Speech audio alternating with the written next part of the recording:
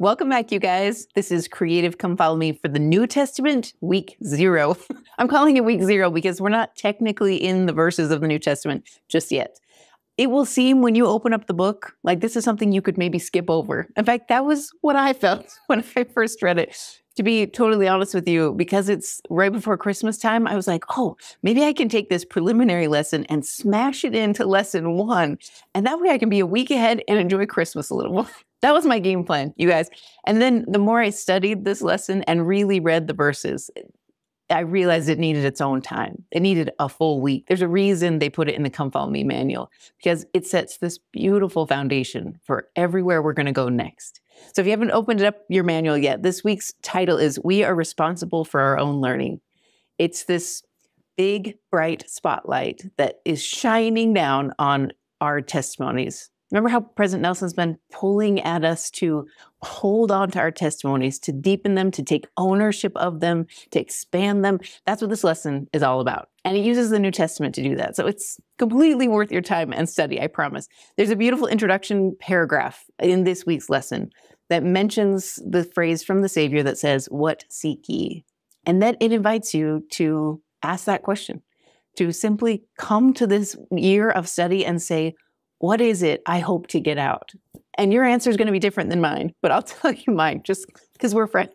So I have two big reasons. The first thing I seek this time is a bit of a mulligan. So, like I told you guys in the Old Testament, the first year of Come Follow Me, after after it was announced by President Nelson, I was terrible. The first time we did the New Testament, I did kind of a smattering of study with my kids. I didn't really put any object lessons or any effort in, and I didn't get a whole lot out of it. So this year, I hope to do it all differently. I don't hope to spend a ton more time and effort. I just hope to get a lot more out of it. And I think that will happen because of the three years of study we've done together. I just, I can't wait to see this year be so different than the last. The second big reason, and the one that's maybe more sacred to me, is because of a promise that's in my patriarchal blessing. And I won't read it for you verbatim, but basically the promise is that as I come to study the life of the Savior, I will know him as my Savior, that I will even recognize him when I see him. And I I have been wondering for years when that will be fulfilled. And it's not that I think I'll hit the capstone of that this year, but I do think these last three years of study and this fourth one will give me a whole new view of the Savior.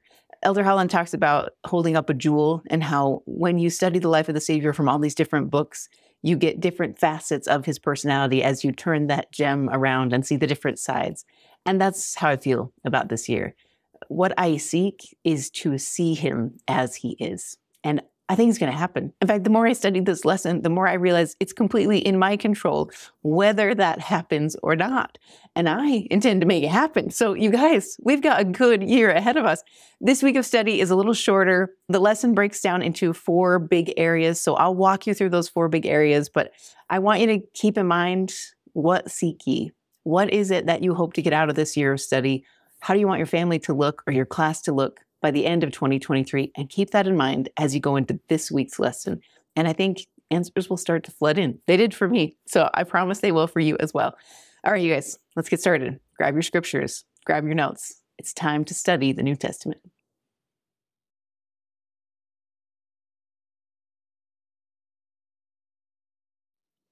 The lesson this week is broken up into four big sections that will help you take responsibility for your own learning. And the first big one is about becoming a disciple of Christ. It's phrased a little bit differently, but I feel like that's the message. So if you look at point one in the manual, it says, To truly learn from the Savior, I must accept his invitation to come follow me.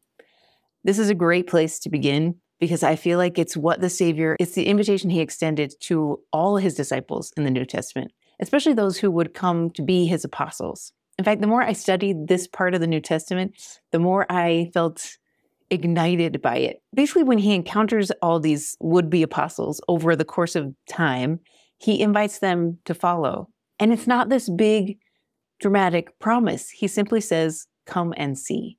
The first one I read about was with Andrew, who was introduced to the Savior through John the Baptist. And he basically has a question for the Savior. He wants to know where he lives. And the Savior's response is, Come and see.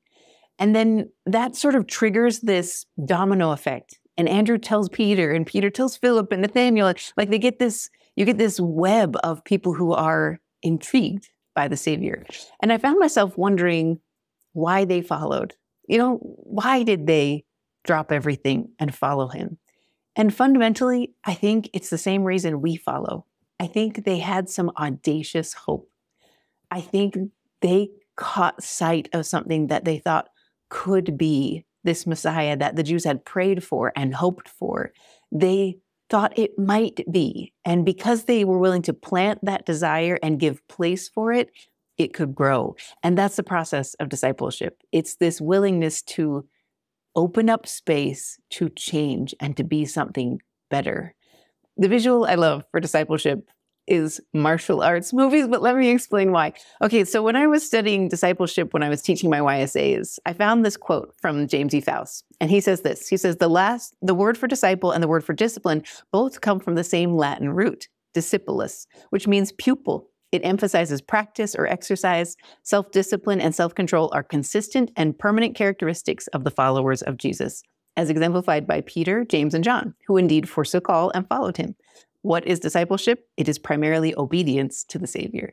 So when I read that quote, you guys, my brain immediately went to martial arts movies because that's what they do. Like it's the plot line of every, you know, from Karate Kid to Kung Fu Panda, all of them are the same. It's some kid who happens to see a master do something remarkable and they can't wrap their head around how it's possible, but they want in. And so they go and they talk to the master and they want to be his student and they are willing to put in the time and the effort. They make lots of mistakes and they learn. And over the course of time, they become like he is. I don't think they ever fully become like that master in the movie, but they become like him and they get that self discipline, that control over the natural man, and they progress. That's what I see when I read the New Testament. When you look at the lives of these disciples who turn to be apostles, and even the women who follow, all these different disciples of Christ, they do this. They see him in some small way, do some something they can't wrap their head around, and they want in. And so they follow him. What I love, you guys, is that's the invitation for us as well. As we study the words of the Savior in the New Testament, you're going to catch glimpses that will intrigue you, you'll catch a miracle or even just a fraction of a miracle or just hear his words and your heart will catch. It'll catch in your throat and you'll have hope. In fact, I think that's the common denominator between all of these disciples. They had hope that there was a Christ who would come. They learned that from their religion. Most of them were Jews. They wanted the Messiah to come and they had hope that he could be it. And that's where I feel like we are after studying the Old Testament all last year. We have this hope that the Messiah is coming, that the King of Kings will be born, and we get to study him all year long. So we're signing up to be his disciples, to be his students. And it's going to be a process and it's going to be work and we're going to fail a lot. But because we come and check in every day and we study with the Savior in our New Testament, we will come and we will see. The question is, what will we see? So as I was studying, you can read all of this in the notes, but one of the things I loved is thinking about what it is that the disciples saw and at first, I assumed it must be the miracles, right? Because they see incredible miracles done at the hands of the Savior. And although I think those add to their faith, they don't define their faith. I learned this from Alma. Remember Alma the Younger in the Book of Mormon? How he talks about how he built up his faith through prayer and fasting. You can find all the references in the notes.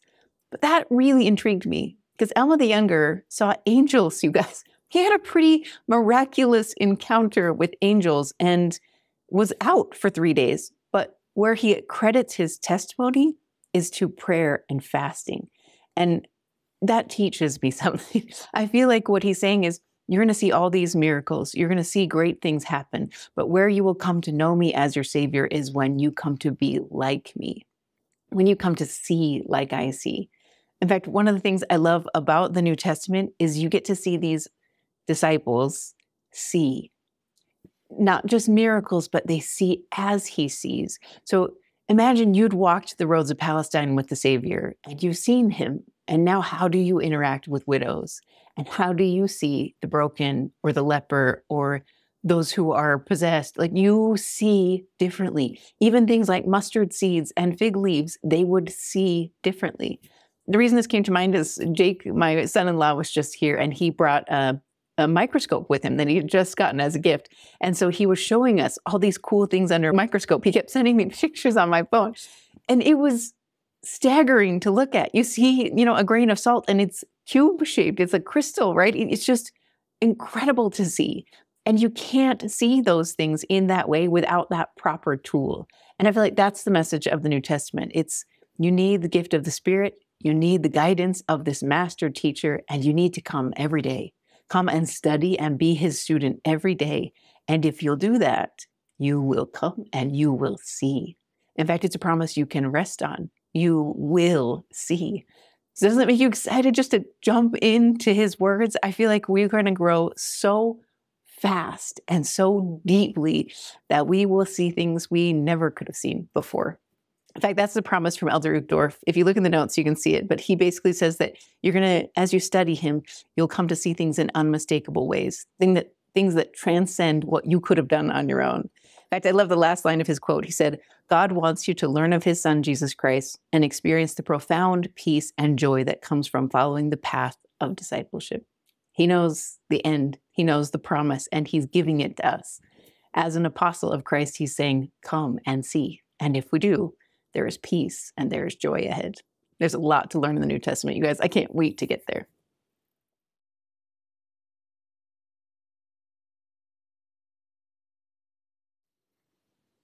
The second big point in the manual is about how you are responsible for your own learning. And I feel like it's what happens in those martial arts movies when the students finally come in to the dojo or wherever it is and they are on their first day of class and the master gives out all these rules and these like stipulations that if they want to be his student, there are there are things they're going to need to do. That's kind of what I felt like when I read the verses that are listed in this week's section. So if you look in that block of um, text in the Come Follow Me manual, there's a bunch of scriptures listed, like nine or 10 scriptures.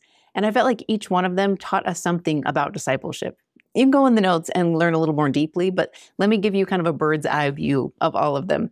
So first, when you start in John 7, 17, this is the one where it says that if any man will know my will and do my will, he will know my doctrine. So it's this invitation to act. You know, if you were in any any mastery program, you have to act. The apostles of the Savior saw him and witnessed what he could do, and then he invited them to do what he did. You know, they had to do their own miracles and all these things they had to act and that's the same invitation for us discipleship will be a process of trial and error and enacting the principles that we learn in verses and we're going to figure it out together you guys the next big one is in Thessalonians 5. This is the invitation to prove all things, hold fast to that which is good. What I like about hold fast to that which is good is it sort of implies that we're going to have to let some things go. You know, kind of like every one of those movies, the main character has to make space in order to really study under this master. They have to let their old friends go or maybe break up with their girlfriend. You know they have to make some big cut in their plans in order to make space to become as he is. And i think that's what alma was teaching me when he talked about giving place for the seed. If i really want this testimony seed to grow i got to give place. I got to scoop out some of the dirt that's nice and compact and been there forever and get rid of it so there's room so I think as I've studied and as I've prayed this week, that's one of the focuses of my prayer is Heavenly Father, where do I need to give place? I really want my testimony of the Savior to shoot out. I mean, if you didn't get that feeling from me before, like I want my testimony of the Savior to expand. And in order to do that, I got to give place. So that's my prayer. I don't have an answer yet, but I'm praying that I will know for my family and for myself what ground do I need to scoop out and move so that I can give place and become as he is? So watch for that as you study. The next two are in James. The first one is the epic verse of James that Joseph Smith taught us when he studied the New Testament. And that is if any of you lack wisdom, let him ask of God. And then an invitation to be doers of the word. And I, of course, love this. Everybody loves this verse, but I think there's such simplicity in it that when you struggle, ask the master. Don't ask the other teachers in the classroom. Don't even ask me. Go and ask the master teacher what it is you need. If you lack wisdom, if you lack understanding, ask. What I think is really powerful is it implies that we understand that there are some things that are going to need to be spiritually taught. I think I learned this profoundly in the Old Testament. There were some things, you guys, I just could not wrap my mortal head around, especially when we got into Isaiah and some of the other words. Like, I struggled. So I needed spiritual sight. And what I love is that the Savior promises you'll get it. He promises if you lack wisdom, ask of God, and He will give to all men liberally, and He will upbraid it not. He his his mo is to give abundantly. So ask God. Don't ask me. Don't ask other commentators. Ask God for answers and see what comes. Another one in James is this understanding of faith and works that they're going to go together. This is another invitation to act. But what I love visually for now, we've been talking about that tree of testimony. Basically, I picture the roots of that tree as my faith. And that as my faith in Christ deepens, as my understanding of Him deepens into that nourished, rich soil, then what naturally happens is works shoot up.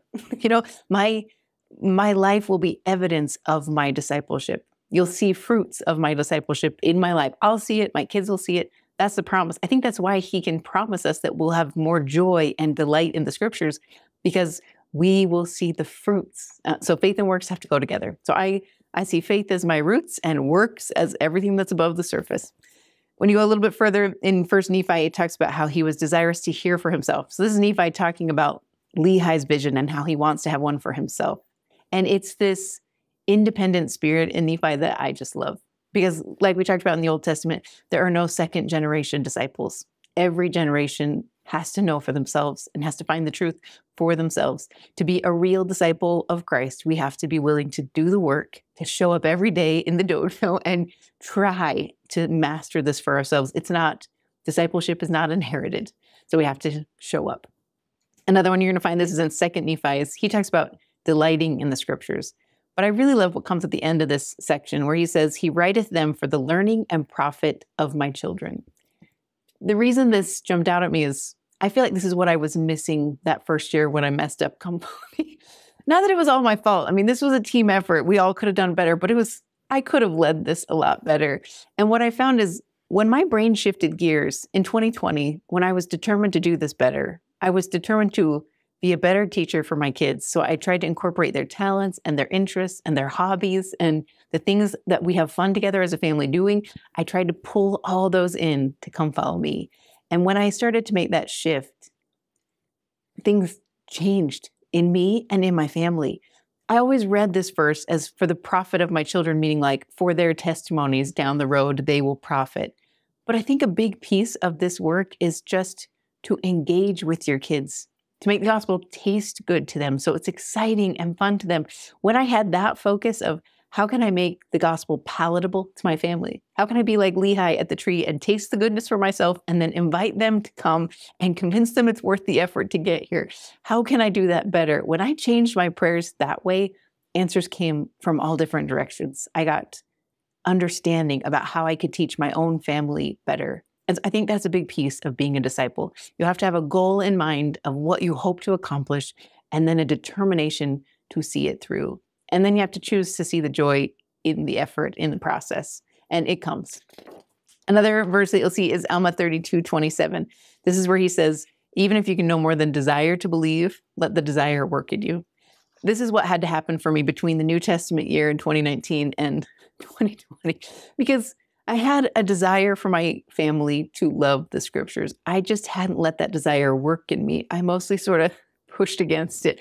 And in 2020, that shifted. So I can testify that this works. When you just have a desire, answers come slowly and in layers, but they come and you'll get clarity. So I love that piece. I think a disciple has to offer that, right? They have to, a true disciple of Christ is someone who will say, I don't understand all things, but I have a desire that this could work for my family. And so I engage. That's discipleship. Another piece of discipleship comes in D&C 1818. This is where he invites you to ask the Father in, in his name, in faith, believing you shall receive and you shall have the Holy Ghost. This promise of the Spirit is a powerful one because I think what he's inviting you to do is to come to the source and seek the guidance of the Spirit. Most of the sweet revelations I get from the scriptures don't necessarily come from the words of the scriptures. Sometimes they do, but a lot of them just come from me being diligently in my scriptures. And then ideas are planted in my mind, answers to problems, solutions I never would have come up with on my own come because I've opened those scriptures and I've tried to dive in. And it's just in that process of engaging that I feel like I've found revelation. So I look forward to that in the New Testament. It's part of being a disciple. Another one that comes is in 58. This is 58, 26 through 20, 28. This is where he teaches you that you can't be compelled in all things, that you have to be, you know, anxiously engaged and that there is power in you. I love that ending piece that there's power in all of us. I think that's what the light of Christ is. He's basically saying, like, you have all the tools to be the person I want you to be right now. I just need you to do it. The same way in all those martial arts movies, it's not that they change dramatically as a person physically. They have all the capability, all the muscle structure they need to do those moves. They just need the self discipline and the training and the coaching in order to pull them off. And that's what we're going to have this year in the New Testament. The last one that the manual calls out is D&C 88 118. So this is where it commands you to seek learning out of the best books. I think this is really important for discipleship because I think especially when it comes to scripture study, you simply can't do it all on your own. You need help. And I think it's okay. Sometimes we get in our head that it's wrong to seek out scholars or to seek listen to podcasts or you know to help get help in those areas. But I really think that's a big piece of how Joseph Smith learned. It's a big piece of how we can learn too. That you seek knowledge out of the best books, but you understand that the trump card to all of the commentary and all of the scholarship is your own connection with the Holy Ghost and what we learn from prophets and apostles in our day, that all those will work together. So seek learning, balance out the scholarship with the sacred, and you'll find a lot of beautiful revelation.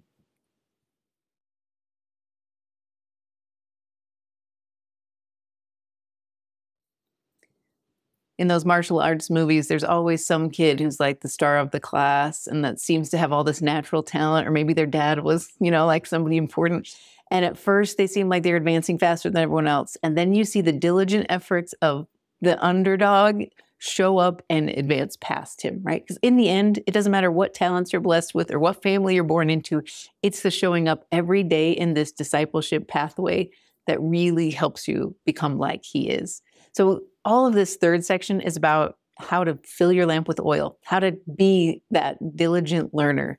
And so, you'll see a few tips tucked into these verses. The first one's in Luke 11, this is 9 through 13, and this is the promise that for everyone that asketh receiveth, and he that seeketh findeth, and to him that knocketh it shall be opened. This is a promise that you can trust in. This is what I'm baking on you guys that if I diligently ask and seek and knock, I will know. I feel like that's what's happened in every book of scripture so far.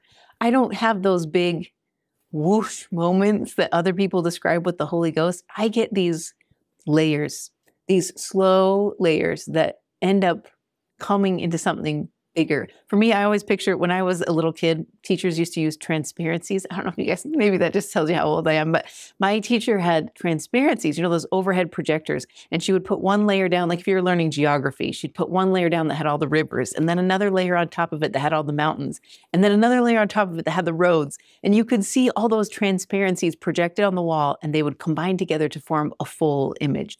And that's basically how Revelation works for me. And what I love in this promise is if I want to add oil to my lamp, what he's basically asking me is keep watching the transparencies. Trust that there are more. If you don't fully understand something, trust that there is more revelation coming. I don't have all the transparencies yet. So I love this understanding, right? There's a great talk from Elder Uchtdorf. It's from 2014, October 2014. It's called Receiving a Testimony of Light and Truth. And he breaks down this idea of gathering oil into four simple steps. I won't read you the full quote, but it is in the notes. But he says first, you have to search the word of God. Ancient prophets, modern prophets, you need to seek it out with a desire to learn. And then you're supposed to ponder those things and prepare to receive more. The second tip he asked you to do is to consider, ponder, and fearlessly strive to believe. I love this piece because there are sometimes, you guys, in the scriptures that it's a scary thing to believe, especially when you have forces pulling against you the other way. To stand and to boldly be a believer is scary at times, but he asks you to do just that, to fearlessly strive to believe. Doubt your doubts, as Elder Holland would say. The third tip he says is you must ask your Heavenly Father in the name of His Son, Jesus Christ, to manifest the truth. There's more to that quote, but I started to look up that word manifest because I wondered I think all of my young years, I thought that promise was if I'd read the Book of Mormon and I got to the point where he would manifest the truth of it unto me, I would feel a certain thing. You know, that whoosh, I would feel something specific. And what I learned when I studied that word is that to manifest simply just means to display by one's acts or appearance. And it's plural by acts. So I think it's, for me, that's how I'm describing Revelation. I've learned in my adulthood that him manifesting the truth unto me doesn't happen in a moment or in a flash or in a sudden feeling. It happens as I see these layers fit snugly together. Things that I never could have anticipated and at a pace I never hoped for. They come quickly and clearly, and I start to see. That's what manifesting the truth unto me means. It means, hey, Maria, I'm not coming all in one whoosh. I'm coming layer by layer, day by day. And so I have to stay. I have to be a disciple because I don't have all the layers. I need to know what else is coming. So I love that promise about manifesting the truth. The fourth step he offers in his talk is he says, You need to act. If any man will do God's will, he shall know the doctrine, whether it be of God or whether I speak of myself. So he invites you to live, live the doctrine and watch for the fruits. And then he has this epic promise. So he says, If you will do these things, you have a promise from God who is bound by his word, that he will manifest the truth to you by the power of the Holy Ghost. He will grant you greater light that will allow you to look through the darkness and witness unimaginably glorious vistas incomprehensible to mortal sight.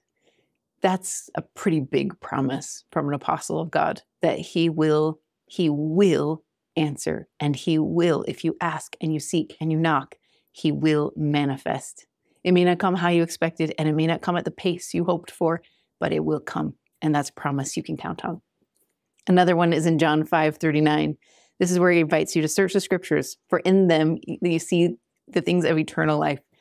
This is a great promise as well, because I think this is what we've done for the last three years. As I've searched the scriptures entirely, not just piecemeal, like a little section of a verse or a quote that's up on my fridge, but as I really studied the scriptures, I find the words of eternal life and they just they just add to each other. Another big one is John 7, 14 through 7. This is when the Savior is talking about God's doctrine. And he's at the temple with a whole bunch of scholars who are baffled by his ability to understand because he's not someone who would have been trained the way they were trained. And what I love about his response, especially when he calls attention to that these aren't his words, but those who sent him, they're his words, is what he's saying is there is power in spiritual understanding all the scholarship, all the commentary, all the studying you can do is powerful and will help you, but it will not compare to what you can gain by learning directly from the Spirit. And he he puts a witness on that. In fact, what he says to the scholars in the temple is that he obeyed the word of the Lord, and because of his obedience, he gained knowledge. And I love this because that's kind of backwards to what the world teaches. They teach that if you want to know the truth about a law, then you should study the law and then choose to obey it. And what the Lord says is, no, obey the law first and then you'll see. So, for example, when I played volleyball in high school, I remember my coach teaching me that I should put my middle finger on the nozzle where the like where you'd go to pump the ball before I served. And I didn't understand there couldn't be any real rational reason why that would help my serve, right? The ball is exactly round. It shouldn't help me. What I came to understand over time was what she was really teaching me to do was to s- like settle down. When I get to the serving line, I needed to breathe. That process of finding the nozzle and putting my finger on it gave me a chance to like get centered so that when I went to serve, my mind was calm, I was focused. I couldn't have understood that at the beginning, but it was a process of doing it that helped me understand, oh, I think I get what this is for. And I think that's how the commandments are. Some of them we just do. He, he commands us to be obedient, even if we don't understand why. But I think it's a process that over time, as we see the fruits in our life come to be, we start to get it. We go, oh, that's why. That's why that commandment's a thing. So I love that we learned that in John 7 as well. Another big one is in Acts. This is Acts 17, 10 through 12. This is where he says, They received the word with all readiness of mind and search the scriptures daily. I do think there's something to discipleship that means you need to be physically ready. I can't show up to my scripture study exhausted. I mean, now and then I do, but it doesn't go terribly well. I have to carve out time. I have to carve out space. I have to get tools. I have to make this discipleship a priority. And when I do, when I show up ready, he can feed me, he can teach me better. I mean, all of you have been teachers. You know what it's like when you have a student who sits in class and they are ready and eager to soak up whatever you have to say. That connection that happens is rapid. And I think that's what he's inviting you to do.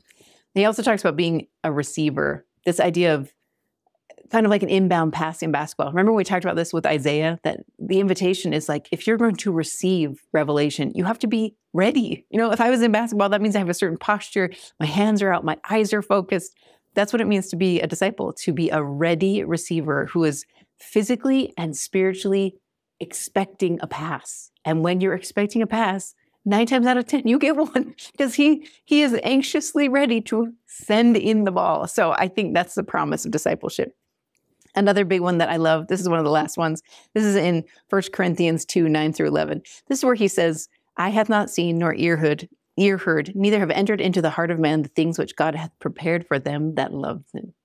This to me is prepare to be dazzled. You know, it's it's an invitation to expand your mind, step deeper in. In fact, that's that's the phrase. If you look in the notes, there's a quote from Marion G. Romney, and he quotes 1 Corinthians 2, 9 through 11, and he says, God hath revealed them to us by his Spirit, for the Spirit searches all things, yea, the deep things of God. The Spirit can teach us what cannot be understood. It's almost like taking that microscopic view. If I look in the microscope, I can see things I can't see otherwise, and details and finishes to, you know, like an animal's wing or you know, like a, a, salt cube, I can see things in so much more detail because I'm using a tool that allows me to see it. That's what the Spirit offers. With the help of the Spirit, we have access to the deep things of God. And don't you just love that phrase? I feel like that's what happens with the disciples in the New Testament, especially Peter. When we get to that part in the New Testament where he says, you know, whom say ye that I am? And Peter says to them, says to the Savior, that he is the Son of God. And he says, And Simon Peter answered, Thou art the Christ, the Son of the living God. And Jesus answered him and said, Blessed art thou, Simon Barjona, for flesh and blood have not revealed it unto thee, but my Father which is in heaven. This is the deep things of God. When you come to understand things through the help of the Spirit, they stay. They have holding power. It's how Jacob in the in the Book of Mormon can say, "I am unshakable." You know, he is he he can't be shaken because his understanding of God is so deeply rooted uh, that he won't be shaken. And that's the invitation of the New Testament, I feel like, as well, to study, to be his disciple, to study under his tutelage, and then become deeply rooted so that we become unshakable. I love that. There's another one in Alma 545. This is that message from Alma about fasting and praying and how that solidified his testimony. So I think that's a piece of discipleship that we have to add in. It's not enough to study, it's not enough to witness these miracles as we read through them. We have to fast, we have to pray, we have to seek out deep things of God. Uh, the last section they reference is the gospel topics area of testimony. And what I loved about this one is this very first line. It says, Members of the Church of Jesus Christ of Latter day Saints have a sacred opportunity and responsibility to obtain their testimonies. And then they have an opportunity and a responsibility to nurture it and to be valiant in the testimony of Jesus Christ, and then to share it.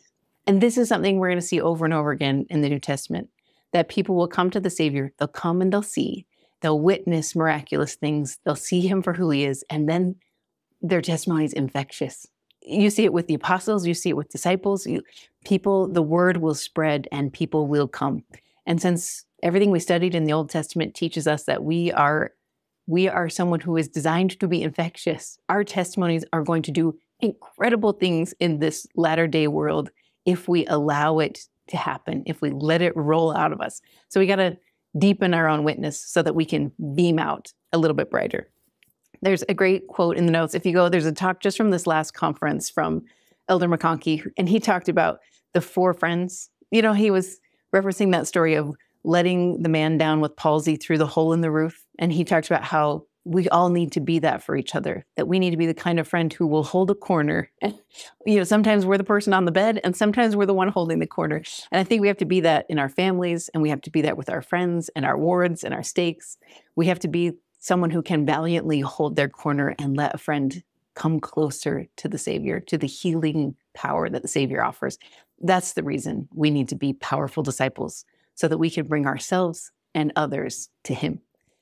The last point in this area is not so much a scripture reference as it is a link to guide to the scriptures on testimony. And I love the beginning line. It basically says members of the Church of Jesus Christ of Latter day Saints have the sacred opportunity and responsibility to obtain their own testimonies. And then, having obtained a testimony, each member has a duty to nurture it throughout their life.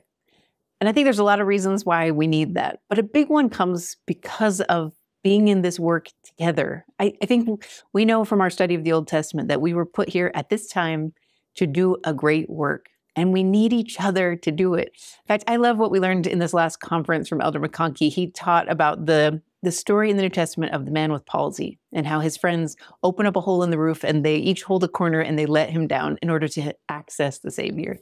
And the, the way he described it was all about why we gather, why we need each other so much. Because it wouldn't work if you said one person holding a corner or even two people holding corners. You needed all four. You need that partnership and the community between them. He also talked about sometimes we're the one on the bed and we're the one holding the corner. And part of being in a community of believers is you know that you're going to take your turn in one of those spots. So when you can be a corner holder, you do the best you can. And I think this is pivotal for us in order to be that Zion community that we've been prophesied to be. In order for us to help others gather and come to Christ, we have to understand and work together. We have to get each other's weaknesses and compensate and help I think it applies in a ward level, but also in a family and in your class, whoever it is you're teaching. I think to be disciples of Christ means we show up for class together, we work together, we struggle in the same ways, and we teach each other what we've learned. We advance together under this great master teacher and we progress in the process.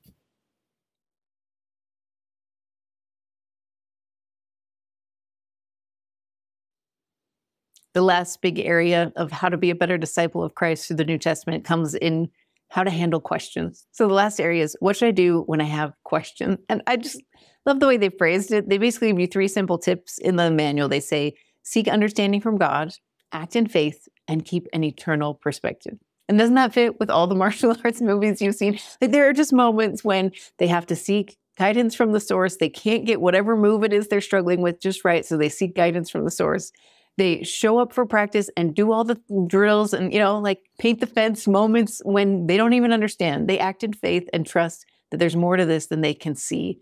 And then that eternal perspective. It means like even if you lose a preliminary match or if you struggle in practice all that training and all that discipleship will pay off in the long run. There will be that pivotal moment when you need it and he will be there.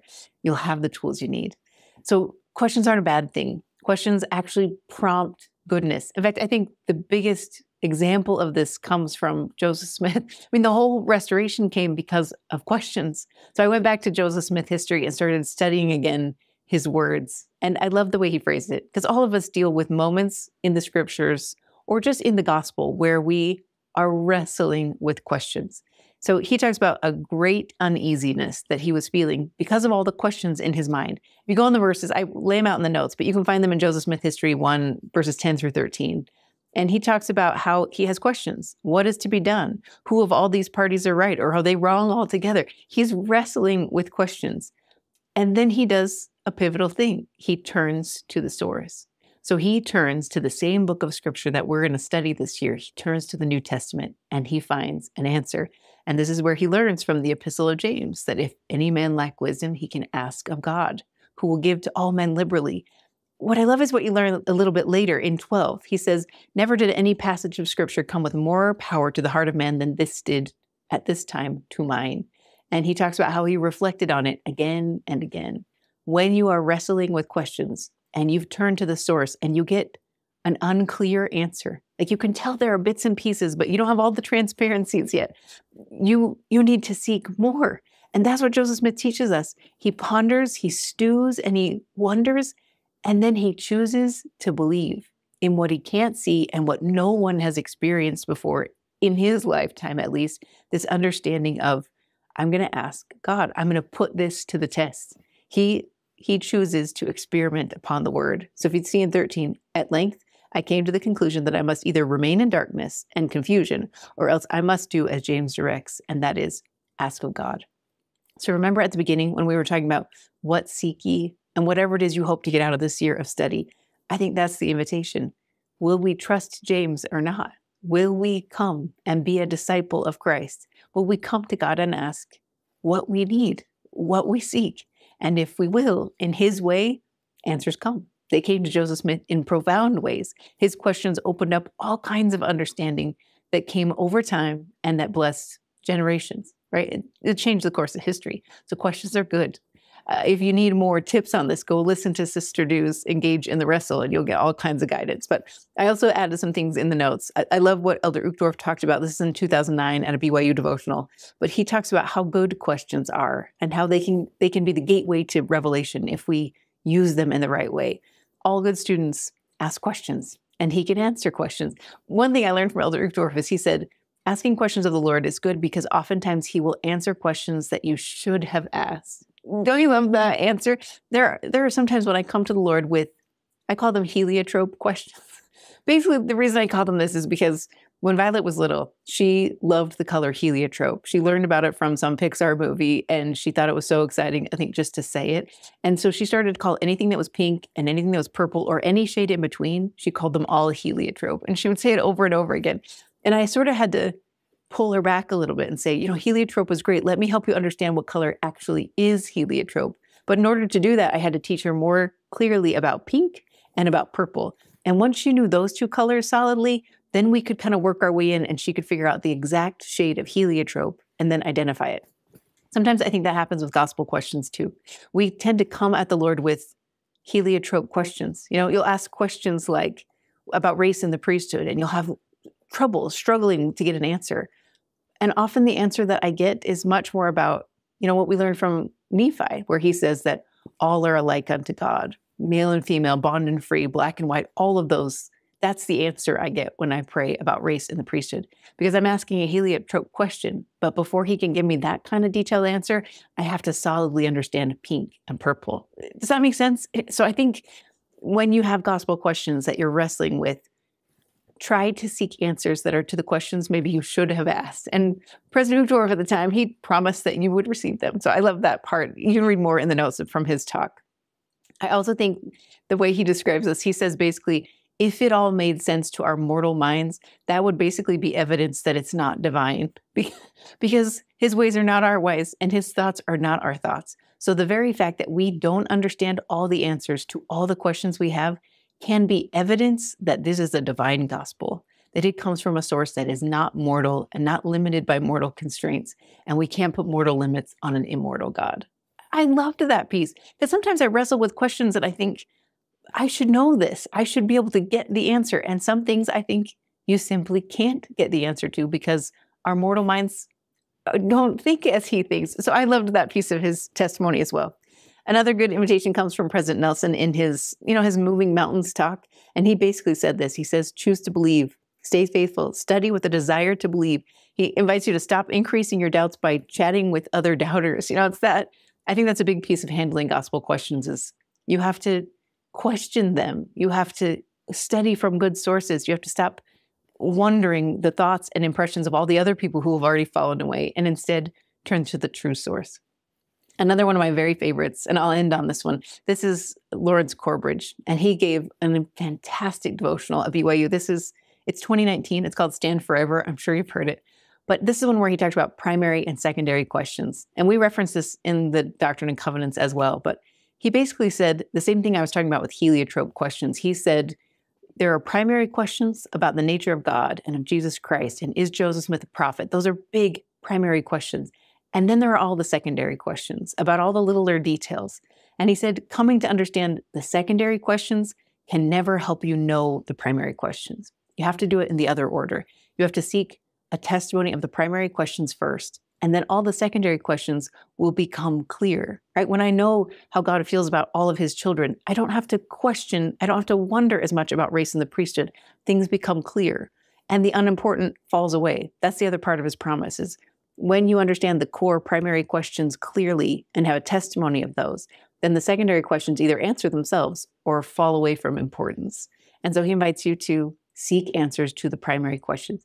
This it's the same thing Elder Anderson asked us to do this last conference when he asked us to solidify our testimony on those five big areas. Remember, we had an object lesson about this in the Old Testament? That when we know those five key areas of any testimony, then we can rest easier. We don't have to know a hundred little details. We can testify of what we do know in those primary question ways and let the other things answer themselves or fall out of our minds. And I love that. Don't you feel like you're geared up? I just think this week of study, especially if you go into each of these verses and seek out answers for yourself, you'll feel this pull. this invitation to be his disciple this year more deeply than you've ever been before. That's how I felt. And I love that we're going to figure it out together. It's going to be a really good year, you guys.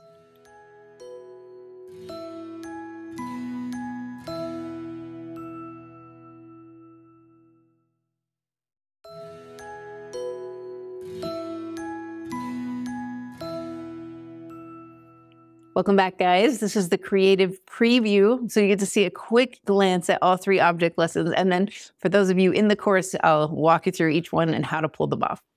The first one is easy. It doesn't really involve any supplies. You're just going to have a martial arts movie night. So you can pick your favorite martial arts movie, watch it as a family, and we'll talk all about discipleship. It also involves a printable that I've styled after the martial arts style and it has a reading log in it so that your kids can keep track of all the reading assignments throughout the year and earn different colored belts in the process. Just trust me, it'll all work out. So that's your first one. The second one is another printable. This is designed to be a gumball machine, and I'll explain why. This is to talk about how to receive revelation from the scriptures, because that's a big focus this week. And so I'm going to give you one of my favorite ways to teach that, and there's a printable associated with it, and you can make your own little mini gumball machine. The third one is talking about answers to questions and that great talk from Elder Corbridge where he references like you can't get answers to questions by finding all the negative answers. And so for this one, you're going to play a game. You can either play the game of Clue that he references in his devotional, or if you happen to have Guess Who on hand, that works just as well. So get those supplies on hand and I'll walk you through all the details.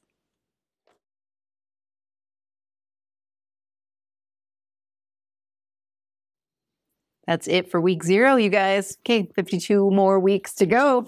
This is going to be a really good year of study. So I hope you're excited. If you want to get a little bit more, you can join me on Instagram 10 a.m. on Mondays. That's Mountain Time. That's when I'll go through some of the insights I didn't have time to fit into the videos and also chat through the object lessons and hopefully answer any questions that you have or just thoughts that you have. Throw them at me on the Instagram Live. If you want to do something in a more private way, just within the course, you can put a question up on the discussion boards. So for those of you who are new, you can find the discussion boards up at the top right of every video. There's just a little chat icon. Just click it and it will open up a way to connect with me and everybody else in the class.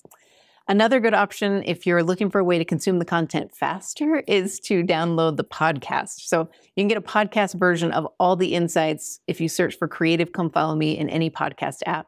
Or as a subscriber, if you want to hear the insights and the creative and get access to the notes and all those things through your podcast app, then message me and I will send you your private podcast link. This is one that's just for subscribers of the course, but hopefully it gives you ways to access the content faster and a little more conveniently. So if that works for you, message me either on the discussion boards or via email and I will send you that link. But otherwise, I hope you really enjoy this preliminary week of study. I know we're not fully into the New Testament yet, but we it will whet your appetite so that you will be eager to jump in next week because good things are coming. All right, you guys, enjoy your week, and I will see you when we come back for week number one.